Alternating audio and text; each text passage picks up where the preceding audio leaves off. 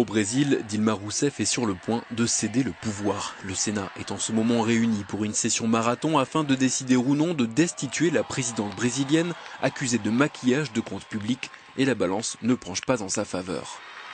Depuis hier matin, les sénateurs s'expriment à la tribune à tour de rôle pendant 15 minutes pour défendre ou accabler Dilma Rousseff. Ils vont ensuite prendre part à un vote.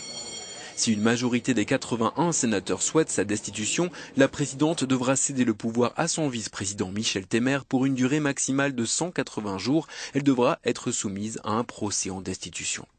Ce procès sera organisé par le Sénat. Cette fois, si deux tiers de ses membres votent en faveur d'une destitution, Dilma Rousseff sera définitivement écartée du pouvoir. Le vice-président Michel Temer sera lui confirmé dans son intérim pour gouverner jusqu'à la fin du mandat, le 31 décembre 2018. À l'extérieur du Sénat à Brasilia, la tension reste vive. 5000 manifestants anti et pro Dilma Rousseff sont présents. Les supporters de la présidente dénoncent un coup d'État. Le camp d'en face l'accuse de corruption. Le Brésil semble aujourd'hui profondément divisé. Selon les derniers sondages, environ 60% des Brésiliens souhaiteraient le départ de Dilma Rousseff.